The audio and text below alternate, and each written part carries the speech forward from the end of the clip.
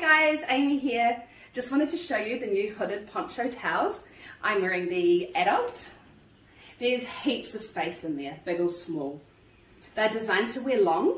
Mine goes down to my mid shin. And we also have here a zipped pocket, waterproof on the inside, and that is a safe place to keep your keys and phone while you're at the beach or at the pool. And then we also have a pocket that goes right through.